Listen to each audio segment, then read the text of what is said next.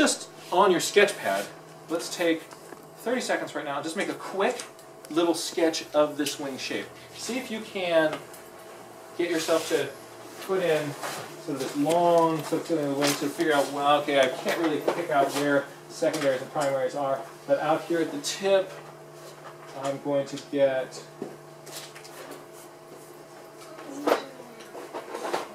a feeling for what those wingtips do out there on your, your piece of paper. So just make a, a little sketch of that wingtip shape. Getting really kind of comfortable with sketching out some little wingtip shapes is going to be very, very helpful when we hit the top of the Head.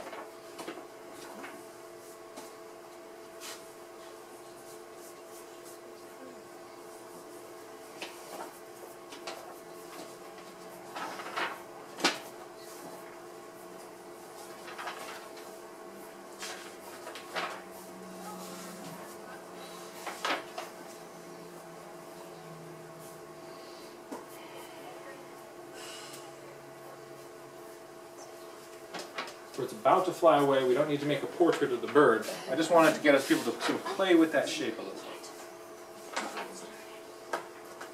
There'll be more opportunities.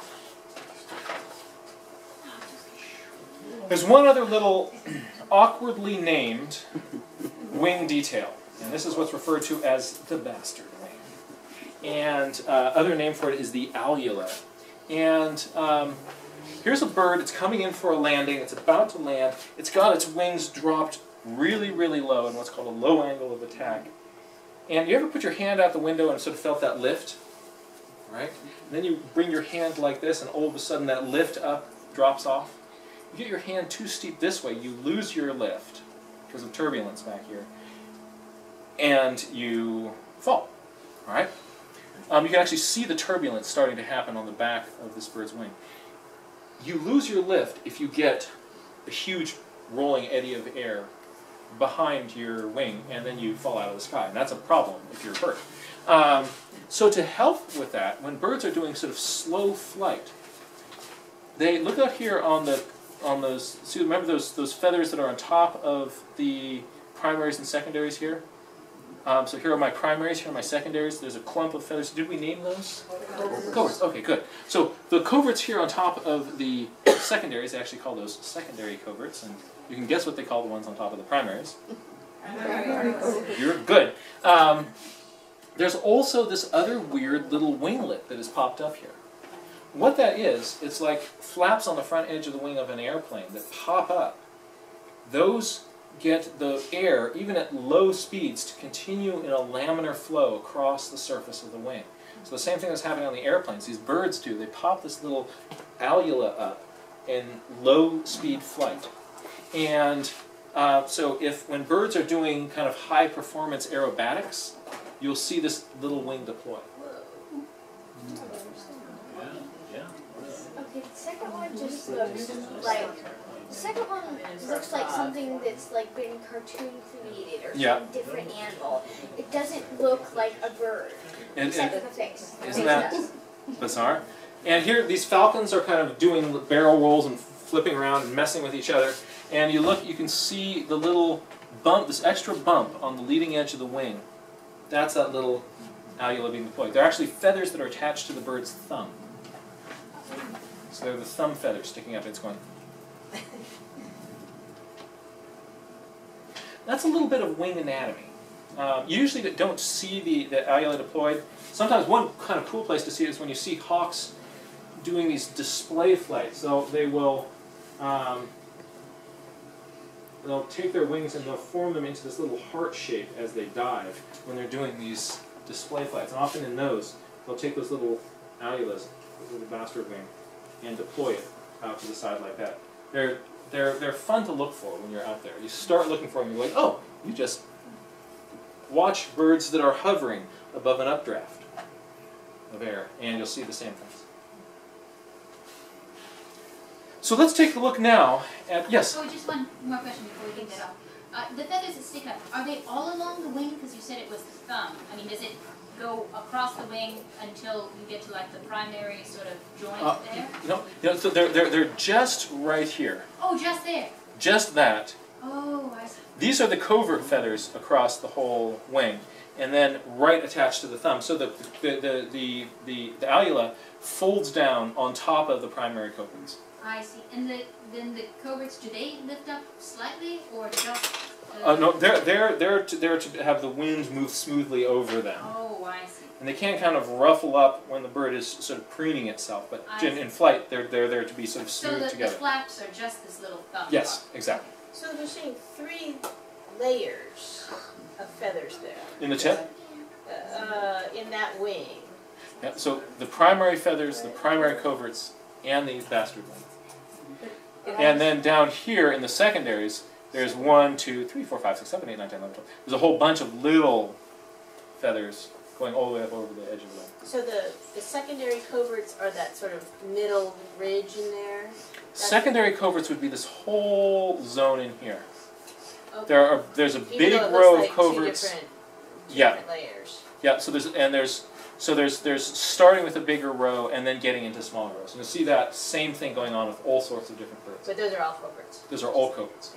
So if if this bird, you know, uh, sometimes people take you know pot shots at, at raptors and things, and they go to the wildlife rehabilitation center. If this bird, you know, has to get a operation done on its wing here, that's a covert operation. Jack? Yes. Are there coverts on the top and the bottom? Yes, great question. Okay. So there's there, the covert, yeah, the coverts. There are under wing coverts and upper wing coverts. Okay. Yes. Just one last question. Are the body feathers also called coverts or what do you call them? Um, so the covert refers specifically to the, those those Oh, ones to the concentrating wing. on the wing. I see. Yeah. Oh.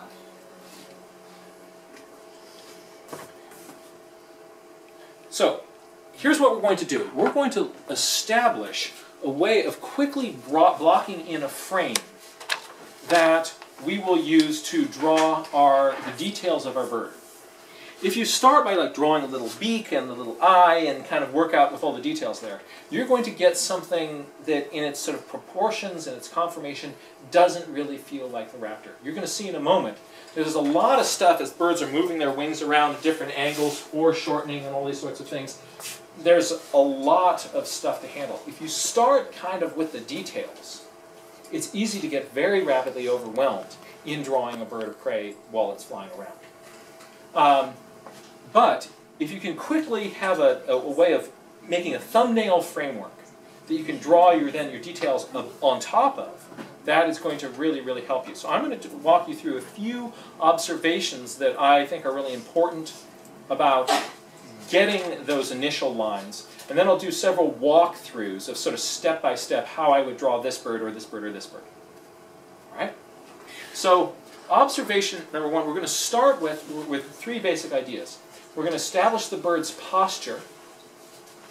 We will then look at what the bird's proportions are. And then we're going to look for key angles around the edges of the bird that really give it the shape. So posture, proportions, and angles. All right? So by posture, if I'm looking at a bird from underneath, right, I've got the letter T. Um, and in posture, I'm looking at what is the angle of the wings relative to the body.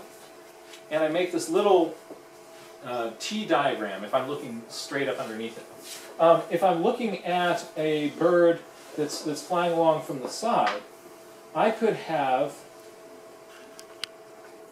I could have something like this. I could have a bird flying along where both of the wings are down. I could have also a bird flying along where the T does not cross at a right angle. So here we've got a right angle. Here I've got a big angle, I mean a small angle, and here's a big angle.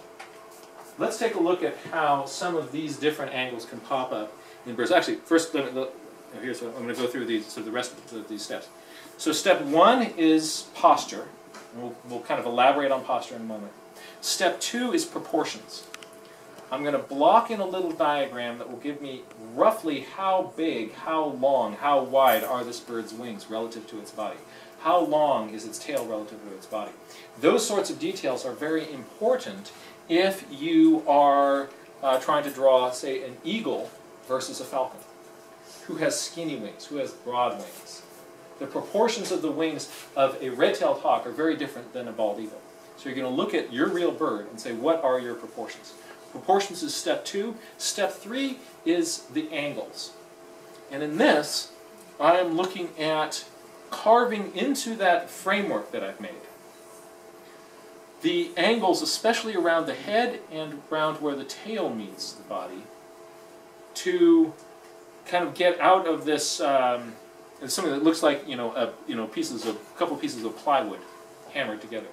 I'm going to carve in the angles, and in doing this, looking at what artists call the negative shape, these spaces right in here um, are going to be particularly important. And I'll be elaborating that in just a moment. This is just sort of showing you where we're going. That gives me a framework on top of which I can add my details. But if I start with trying to like draw, you know, how do all these little feathers overlap and start focusing on details, I'm not going to get something that then has the general shape of this raptor when I'm all done.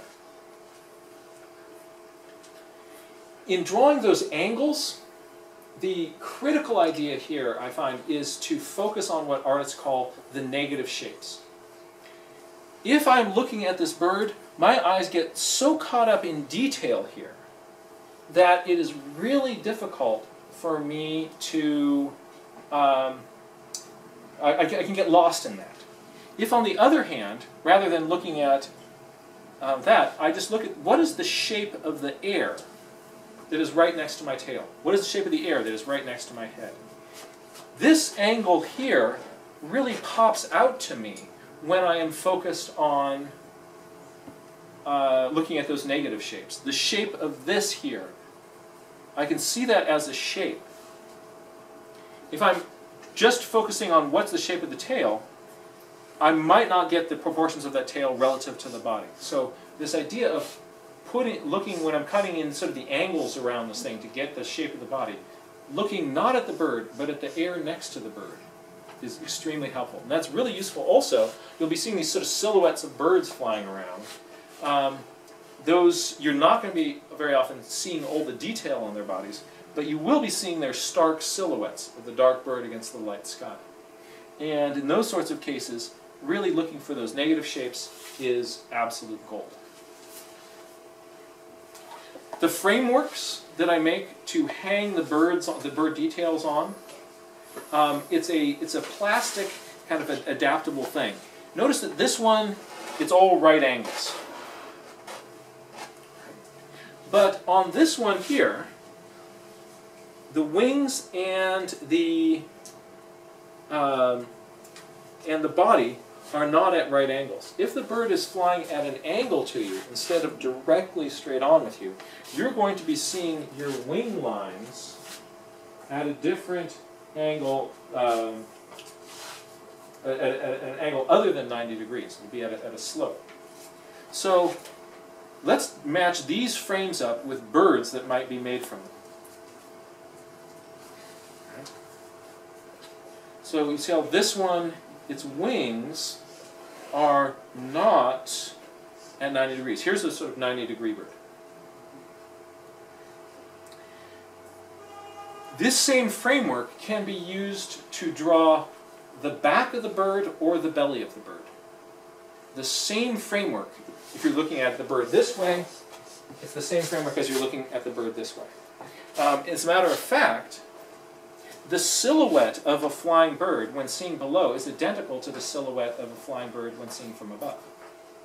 If you're looking at a shadow of something on the floor, you can't tell whether the thing is turned this way or this way. And so that same framework could be made, you know, here's the same shape of a bird, same shape, same shape. What? Is that crazy? So the, what, what the difference is, let, let, me, let me, so you're saying that that's not intuitive. Let me do a little diagram here. Let's say I had a bird diagram and let's say I have a bird that's coming here.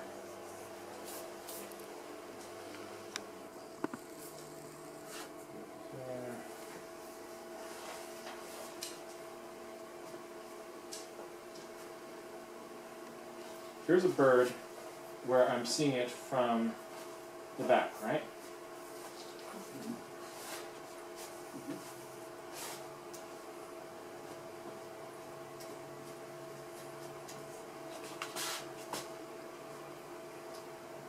Are we good with that? So I'm going to get rid of some of these sort of extra kind of confusing lines. And there's my little bird as seen in the back. If, on the other hand, I got rid of that,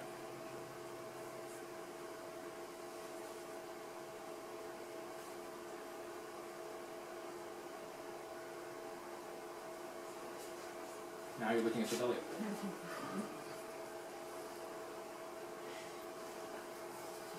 Did that Mhm. clarify it? Yeah, yeah, it's, I, So, I'm. I, I just I just played with how this overlap part was was Yeah, I've always had trouble with this, and got it on film. okay. If you need to rewind. Yeah, five times. Thank you for doing that.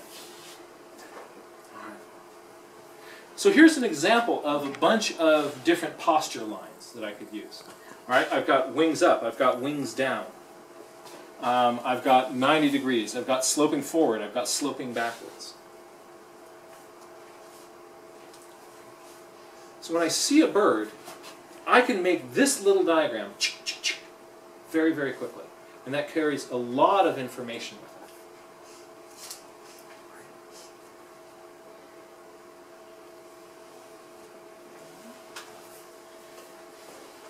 hold your finger up to, to so, sort of show the, the, the, the posture of this bird. Now, take your other hand and hold it up at the angle of those wings. So, kind of initially getting that, that.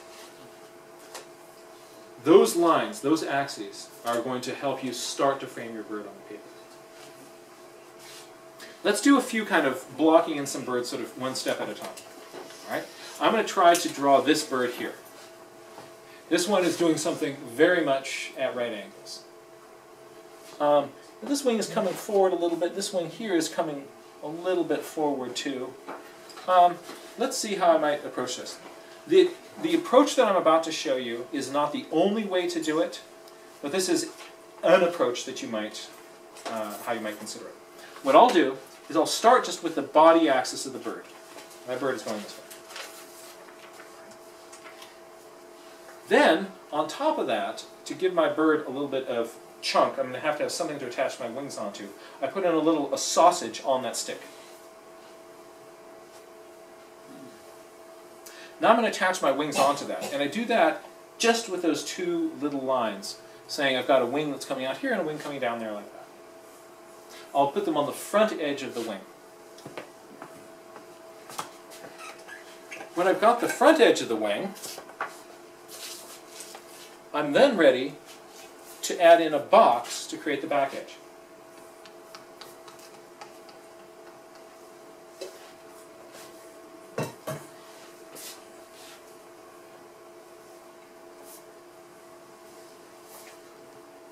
From there, I'm going to divide that wing into two parts, one for my primary feathers, my secondary feathers. I'm going to look at how far down here and how wide is my tail. And I've got a basic framework that I can start to hang my details on. Now comes in looking at the angles. So up here by the head, I'm going to look at this just as a shape. And looking at this versus that, I'm going to go, oh, there's a really slopey side and there's a flat side. Right? What is that shape? I'm going to carve that shape in. I'm going to do the same thing back here as the tail comes in. What are the angles that I'm seeing there?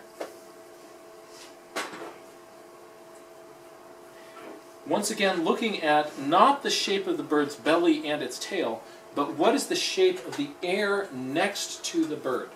That's the negative shape. That's a much simpler shape to observe and record than looking at the body of the bird itself.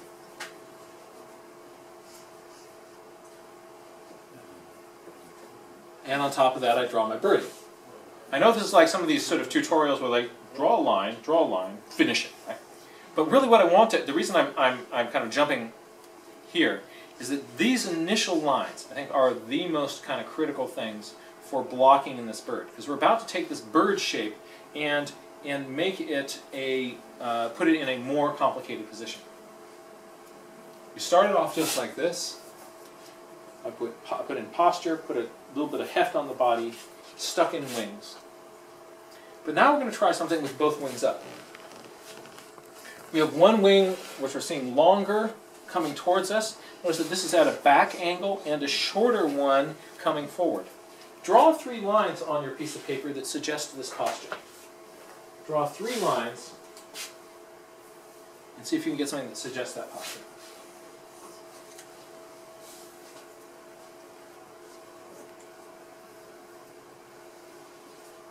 Did you get something like that? Mm-hmm. All right. That's what you want to do. So very quickly, I've got a lot of information recorded right there. So I've got my posture. Sometimes I can add a snossage onto that and stick my wings into it. Now it gets good TV reception. From these wings, I'm going to turn these lines here. I'm going to turn those into boards, into planks.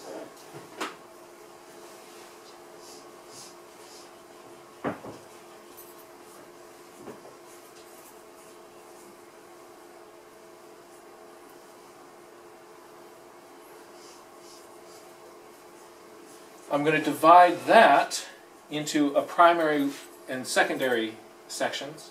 Depending on the angle that the wing is being held, those sections can be different sizes. Sometimes there's a lot more secondaries, sometimes you see a lot more primaries. And then I'm going to carve that box up here. The bird doesn't necessarily have a, they, often if the bird's wing is bent a little bit at the wrist, rather than it being straight across here at the bird's wrist, the wing will cant back. So if the wings, bird's wings are sloped back instead of all the way at a full out soar, I'll see that there and I will carve that into my box. And at this point, this is starting to kind of feel like a bird.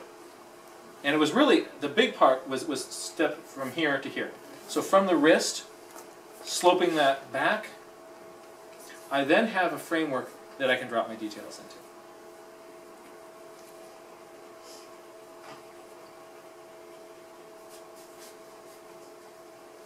Let's go for a totally different angle. I'm going to put a bird up here and draw a quick series of lines that you think would capture this shape. What, is, what are some quick lines that you could use to basically kind of, no fuss, get this? Yes? A big V. Okay. This? Circle. Yeah. She's going to go for a circle with a big V. All right. Draw, draw, draw how you would kind of frame this personally out on your piece of paper.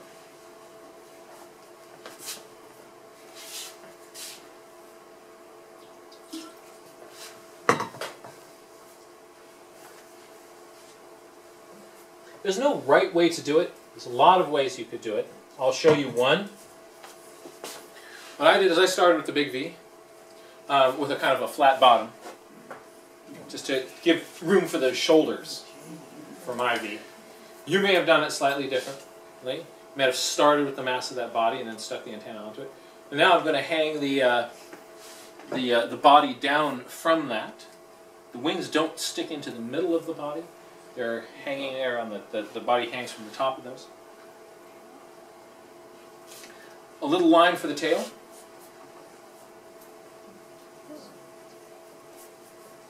And depending on the bird's angle, that tail may be in the middle of that body. Here, this one was down at the base. And for putting in its, any other sort of details, I could have stopped right here, but I put in a little cross to kind of give me a sense of where the bird's face is, right through the middle of its face, a line through its eyes and a line through its beak. Uh, it's very useful for, for putting those in. And on a distant bird, sometimes I'll just put in a cross, and that does a really good job of just with a few little lines kind of suggesting that there's more detail in there. So this gives me a framework then that I can add my details on top of.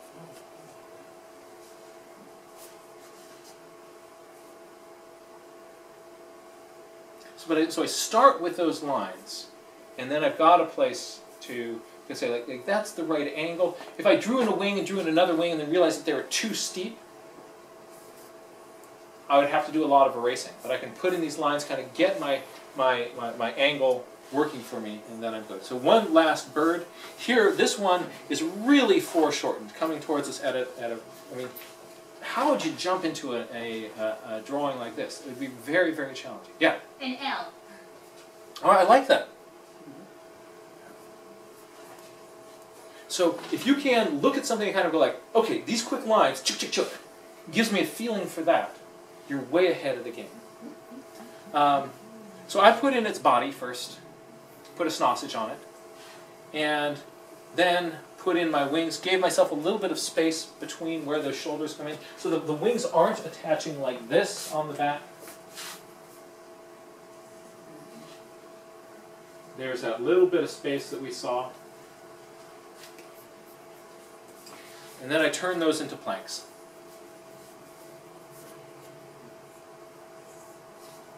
I split those into primaries and secondaries.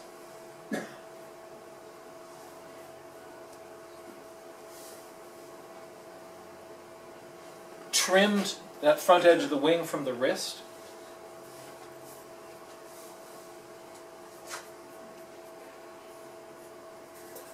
And then put in a tail.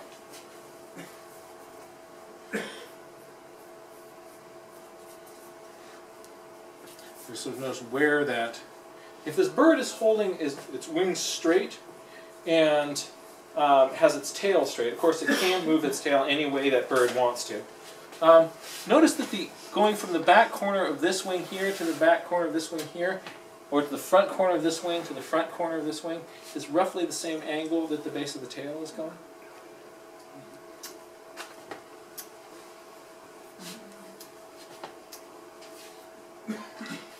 If it's really different on your drawing, that might suggest that something is, either the bird is holding its tail at a really funny angle, or one of its wings in a weird position, or there may be something off with your drawing.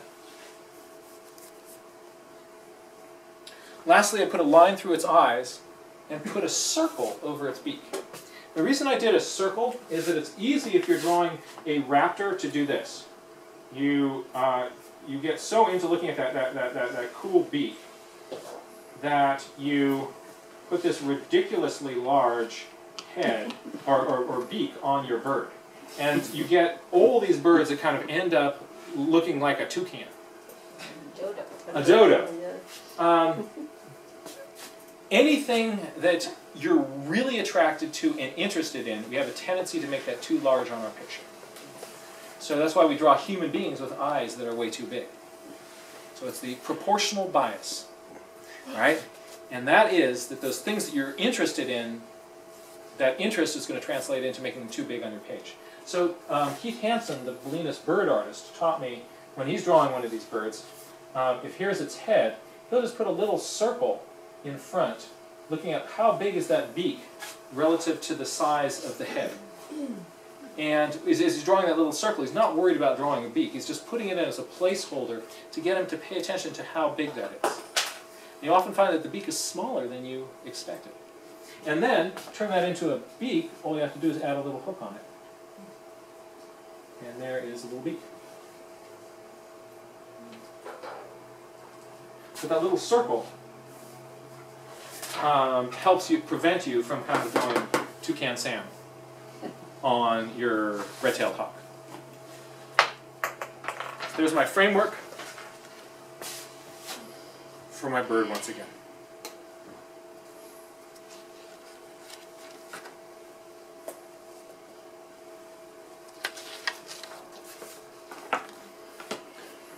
Let's take a close look at what happens as birds move their wings around. If you're just if all your birds are in the kind of like plane spotter position here, right? Um, and life is, is easy, but they're going to be doing all sorts of crazy things. So something we're going to have to take into account here is foreshortening.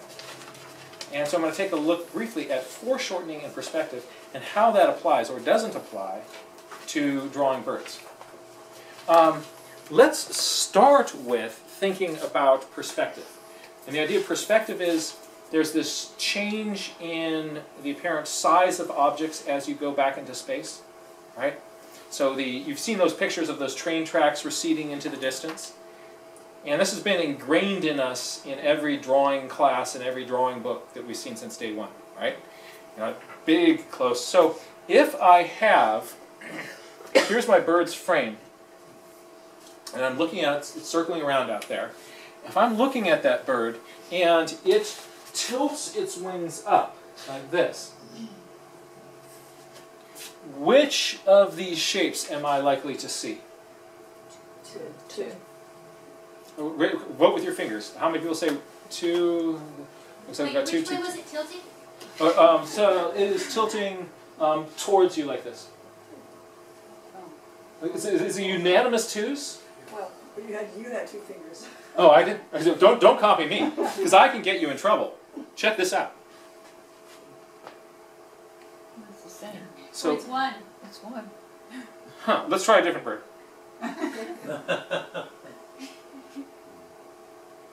Isn't that weird? Wait, I'm not.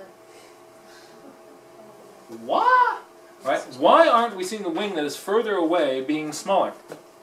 Um, and the answer See my book? Is, by the way, have people seen this book? Buy my book. Um, if you are, are kind of thinking like, what will I get everyone that I know for the holidays? I can hook you up with signed copies. Just let me know. Um, but this book can also help us because it's a rectangle. Now, um, you know, as I tilt this thing back, it's going to it's going to distort this way, right?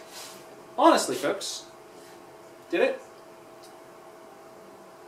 No. Ruh-roh. right? Is perspective wrong? No. How, when do you see that? You see that if I put this book right here. Right? Close to you. When it's close to you, now you see this edge big, this oh. edge small, Yeah. and the closer it gets, get even closer to it. Right? When she's Oh, like wow. this, right? Big here, small here. But then all I have to do is come back this far, right? And they seem the same size. And people in the back are like, I'm skeptical. This so we run back here. Right, so way back here, like, check this out. Now you see small and big. So an object that is really big, you're going to see that, and that's what we see it in those buildings, even though you can be a little bit further away from the building. But smaller objects, or things that are further away from you, the effect of that sort of railroad tracking um, in this much space is not going to be visible to our eyes. If this was really large, then you would be able to see that. But just in this much space at this distance, you don't see it. The good news is you can forget about perspective in drawing raptors in flight. All right? So that's that's taken off the table.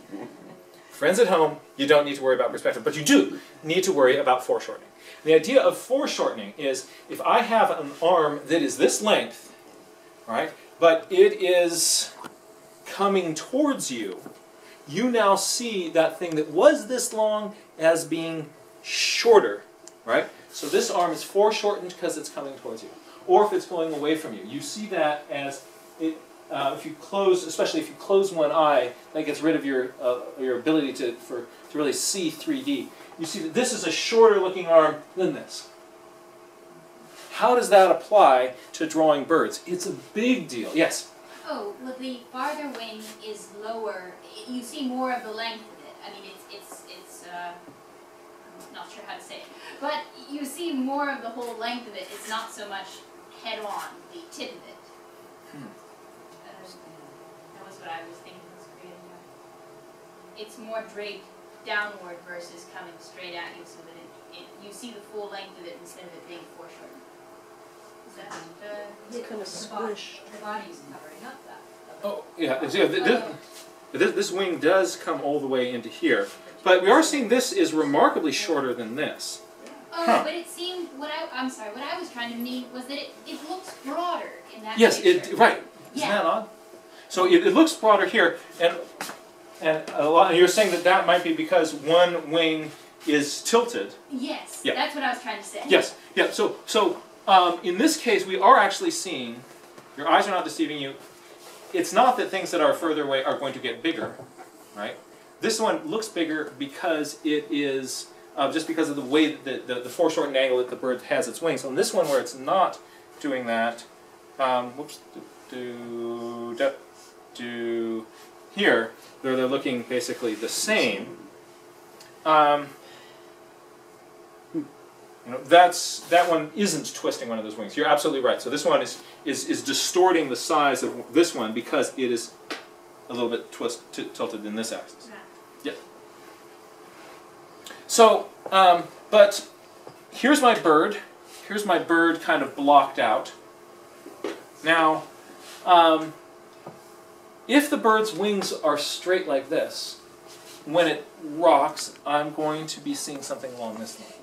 If, however, this bird doesn't have its wings perfectly flat, but instead has them up at an angle like this, I then, so if, if, if, I, if I'm flat, as I tilt, you see the same thing going on in both arms, right?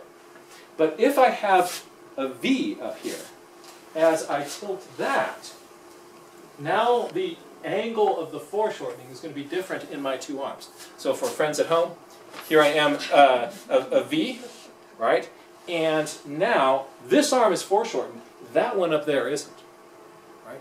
The same thing is happening with birds as they are flying around. So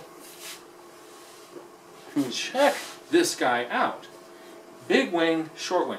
A lot of us people, when they would see this, what they will do is they will draw a picture with wings same size on each side. Right? Because like, what's going? Like, why is that? The because all the bird has to do is have one wing slightly at a different angle than the other one, and this is what you get.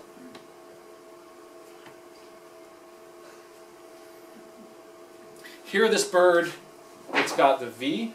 Both wings are foreshortened. So both wings look as if they've been squished this way. This bird has a wing that's actually this big. But all it has to do is take that and rock it towards you, and you are going to see it get squished. It's not folded. So, oh, um, yeah, this one, yeah, you're right. This one is more folded in end. This one is folded in end and foreshortened. This idea of the V in the back is what bird watchers or plane spotters call dihedral. A plane or a bird that has its wings up in a V has a dihedral. Yes? I don't think planes ever have their wings at an V, do they? Well, they, they do. So, so some wings. So um, there, there's it's, it's neat during um, uh, World War II. There's it's important to know, be able to identify the type of planes that the enemies had. So they made these little identification charts that had little drawings of, of airplanes from the front. Some of them were like that. Some from the front were like this. They had side views, front views, and whether or not there's a dihedral in the wings of that plane is an important thing to look for when you're plane spotting. So you see it in airplanes, and um, you see it in some birds. So northern harriers have a dihedral. Turkey vultures are famous for it. People talk for about V for vulture. The naturalist Elizabeth Terwilliger would always say, V for vulture. Everybody make V for vulture." Right? And and so she would make the, the V for vulture. So vultures have a dihedral.